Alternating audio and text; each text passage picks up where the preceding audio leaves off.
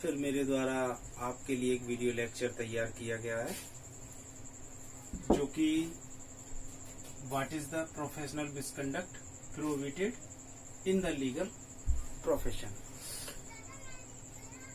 शायद आपको देखकर ये लग रहा होगा कि इस पर मेरा आप एक वीडियो लेक्चर ऑलरेडी पहले देख चुके हैं। लेकिन नहीं, विद्यार्थियों, थोड़ा सा अंतर है। मेरे द्वारा इससे पहले दिए गए वीडियो लेक्चर में और इसमें। मेरे द्वारा इससे पहले जो वीडियो लेक्चर दिया गया था, उसमें मेरे द्वारा ये बताया गया था कि प्रोफेशनल मिसकंडक्ट क्या है और इसका क्लासिफिकेशन बताइए। मिसकंडक्ट का वर्गीकरण बताया गया था कि क्लासिफिकेशन क्या है। लेकिन आज जो मेरे द्वारा वीडियो लेक्चर आपके लिए तैयार किया गया है उसमें मेरे द्वारा ये बताने का प्रयास किया जा रहा है कि कौन कौन से ऐसे प्रोफेशनल मिसकंडक्ट हैं जो नहीं करना चाहिए। यानी कि जिन पर रोक लगी है। या फिर हम एक सामान्य भाषा में बात करें तो एक अधिवक्ता को न्यायालय में कौन कौन से कार्य हैं जो नहीं करना चाहिए, जिनके करने पर प्रोफेशनल मिसकंडक्ट क्रिएट हो जाएगा। बात समझ में आई? यानी कि ऐसे कार्य जो एक अधिवक्ता को नहीं करना चाहिए, अगर वो न्यायालय में करता है तो उसके द्वारा इन कार्यों को किए जाने पर व्यवसायिक कदाचार जन्म ले लेगा। विद्यार्थियों, समझते हैं हम एक एक करके? What is the professional misconduct misconduct हम पहले समझ चुके हैं। हमें समझना है ये चीज़ प्रोविटेड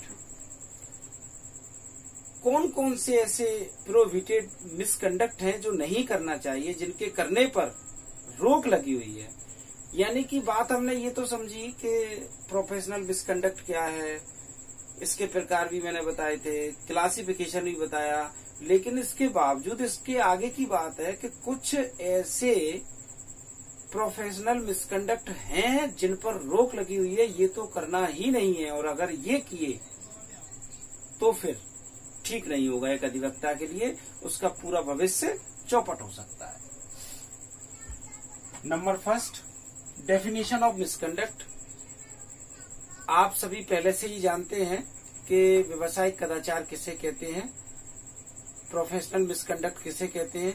मुझे ये बताने की ज़रूरत नहीं है और विद्यार्थियों, मुझे नहीं लगता है कि शायद आपको भी ये जानने की ज़रूरत है। Second prohibited misconduct what is the means about to prohibited misconduct? Prohibited misconduct के संबंध में एक से लेकर सात तक मैंने यहाँ मिसकंडक्ट बताए हैं। इन मिसकंडक्ट में से कोई भी कंडक्ट अगर आपके द्वारा किया जाता है तो मिसकंडक्ट कहलाएगा। Number one practice without registration आसानी से समझ गए होंगे आप सभी। एक अधिवक्ता अधिवक्ता कब कहलाया जाता है? यानी कि ऐसे समझे, एक आम आदमी अधिवक्ता कब कहलाया जाता है? एक आम आदमी को अधिवक्ता हम जब कहते हैं, जबकि उसके द्वारा बी एल एल बी या एल एल बी की गई हो। अर्थात, जो अहर्ता है एलिजिबिलिटी है, जो डिग्री है, वो की गई हो। और विधि स्नातक की डिग्री करने के बाद उसने बार काउंसिल ऑफ़ इंडिया और स्टेट बार काउंसिल में रजिस्ट्रेशन कराया हो। और रजिस्ट्रेशन कराने के बाद एक सूची निकलती है। उस सूची में उसका नाम अधिवक्ताओं के साथ लिखा हो। अर्थात एडवोकेट लिस्ट में उसका नाम एज ए एडवोकेट एनरोल्ड होना चाहिए। यानी कि अधिवक्ता कहलाने के लिए शर्तें तो कई सारी हैं। लेकिन हम यहाँ सिर्फ़ दो शर्तों की बात करेंगे। नंबर एक, अधिवक्ता कहलाने के लिए एक व्यक्ति को लॉ ग्रेजुएट होना चाहिए और after then law graduation it must be compulsory registered in a state bar council and bar council of India and enrolled in a advocate list as a advocate यानी कि स्नातक, विधि स्नातक होना चाहिए और बार काउंसिल ऑफ़ इंडिया और state bar council में रजिस्टर्ड होना चाहिए। और अधिवक्ता सूची में उसका नाम अधिवक्ता के तौर पर होना चाहिए। तभी वो व्यक्ति अधिवक्ता कहला सकता है। अगर इन दोनों कामों में से किसी के भी बिना उसने यहाँ प्रैक्टिस की तो ये मिसकंडक्ट कहलाएगा और ऐसा मिसकंडक्ट प्रोहिबिटेड है, रोक लगी है। सेकेंड प्रैक्टिस विदाउट एलिजिबिलिटी यहाँ हम बात कर रहे थे सिर्फ़ रजिस्ट्रेशन की। यानी कि एक व्यक्ति लॉ ग्रेजुएट तो है। उसने विधि स्नातक तो कर ली, लेकिन रजिस्ट्रेशन नहीं कराया था। और फिर वो प्रैक्टिस करता है तो रोक लगी थी। यहाँ सेकंड पॉइंट में हम समझने का प्रयास कर रहे हैं कि वो लॉ ग्रेजुएट ही नहीं है। अर्थात रजिस्ट्रेशन की तो बात बाद में है। सबसे पहले लॉ ग्रेजुएट होना चाहिए, वो ही नहीं है। और ऐसी कंडीशन में कोई व्यक्ति काला कोट पहनकर गले में बैंड लगाकर कोर्ट में खड़ा है तो आम आदमी जब कोर्ट में आएगा तो उसे तो यही लगेगा कि ये एडवोकेट है। और उसमें भी अगर उम्र ज़्यादा है, बाल सफ़ेद है तो डेफिनेटली एक्सपीरियंस होल्डर एडवोकेट है। ध्यान रखिए विद्यार्थियों, ये प्रोफेशन ऐसा है, जिसमें नए लोगों से, पुराने लोगों पर विश्वास ज़्यादा होता है। जिनके बाल सफ़ेद हैं, जिनकी उम्र ज़्यादा है, लगेगा इनको अनुभव ज़्यादा होगा, इन्हीं को हम अपने केस में एज ए एडवोकेट अपॉइंट कर लेते हैं। लेकिन ये क्या पता कि न इनके पास लॉ ग्रेजुएशन की डिग्री है, न रजिस्टर्ड है, उस काला कोट है, गले में बैंड है, और इट इज़ ए मीडिएटर तो ऐसी कंडीशन में अगर आप एलिजिबल नहीं है लॉ ग्रेजुएट नहीं है, आपको वकालत करने का कोई अधिकार नहीं है, और अगर करते हैं तो it is a prohibited misconduct और आपके विरुद्ध कानूनी कार्रवाई की जाएगी। Third working with other profession एक अधिवक्ता का कार्य बहुत ज़िम्मेदारी का कार्य है।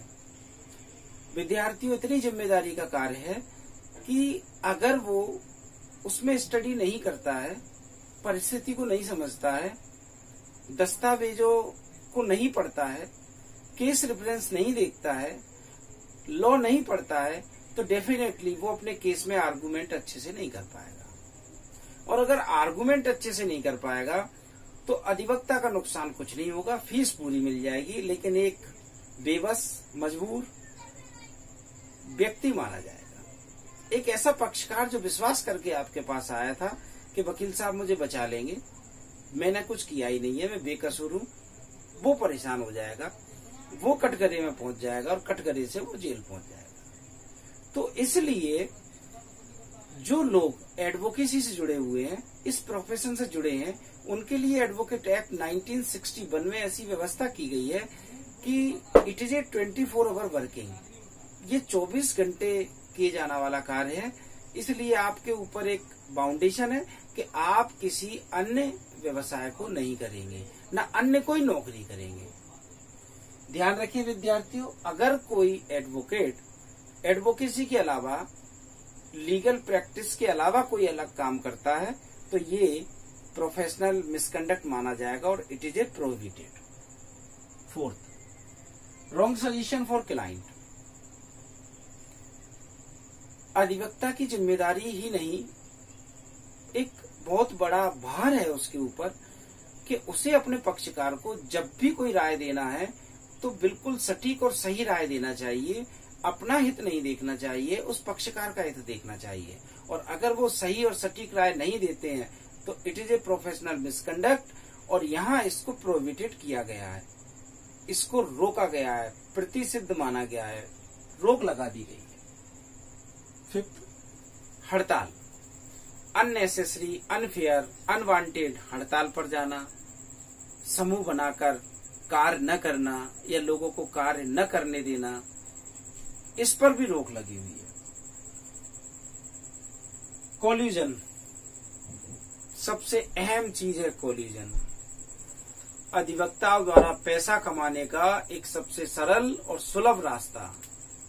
ध्यान रखिए विद्यार्थियों, जब एक आम आदमी किसी मामले में कोर्ट में आता है और ये कहता है कि हमारे परिवार के एक सदस्य की हत्या कर दी गई है और हत्या अमुक व्यक्ति ने कर दी है जिसके खिलाफ हमने एफआईआर दर्ज करा दी है अब वकील साहब आपसे निवेदन है कि आप हमें उस केस में हमारा साथ देते हुए उन हत्यारों को सजा दिलवा दें। लेकिन वकील साहब क्या करते हैं? वकील साहब केस लड़ते हैं और केस में जीतना तय था, लेकिन जीतने से पहले विरोधी पक्षकार यानी डिफेंस काउंसिल से मिल गए और एक मोटी सी रकम ले ली। पैसे ले लिए और पैसे लेकर अपना केस कमज़ोर कर दिया और पक्षकार हार गया।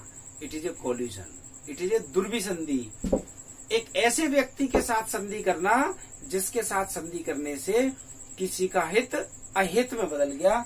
इस पर यहाँ रोक लगी हुई है। अगर ऐसा कार्य कोई अधिवक्ता करता है तो it is a prohibited misconduct. At least in a last take to property of client take to property of client अगर कोई अधिवक्ता अपने हित के लिए benefit beneficial benefit given to it एक अधिवक्ता अगर अपने हित को ध्यान में रखते हुए अपने ही पक्षकार की संपत्ति क्रय करता है तो ये गलत है, ऐसा नहीं करना चाहिए। विद्यार्थियों, आज का मेरा वीडियो लेक्चर यहीं समाप्त होता है। और आगे भी आपके हित को ध्यान में रखते हुए मेरे द्वारा वीडियो लेक्चर अपलोड होते रहेंगे। धन्यवाद।